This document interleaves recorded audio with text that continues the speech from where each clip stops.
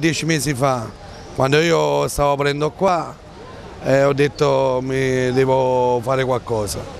Poi con il presidente della municipalità Ivo Poggiani che mi ha dato una mano ad ottarmi una strada e poi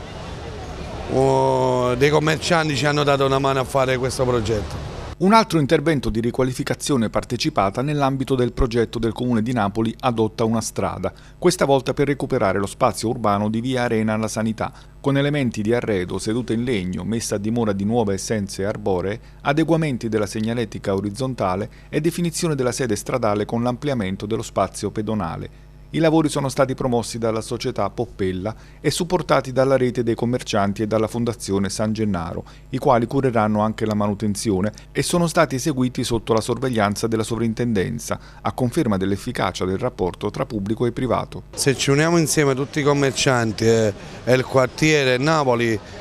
facciamo in modo che Napoli diventa più bella com'è. Sì, è un rapporto che funziona, siamo oramai a 13 adozioni, altre 9 sono in itinere, ancora altre proposte stanno arrivando, in particolar modo qui siamo all'interno al cuore della sanità e dunque è un rapporto interessantissimo perché qui hanno lavorato insieme non solo i commercianti, l'istituzione, l'università di architettura attraverso un design anche della famosa sedia che vediamo oggi qui eh, esposta, Beh, è un rapporto in cui ancora una volta si dimostra quanto la partecipazione della cittadinanza è molto sentita nella presa in cura anche di una serie di luoghi della nostra città e nella restituzione in un modo con decoro e abbellita. Un grande lavoro del Comune, della terza municipalità, di Poppella, della rete di commercianti, Fondazione San Gennaro, un lavoro di squadra con la sovrintendenza.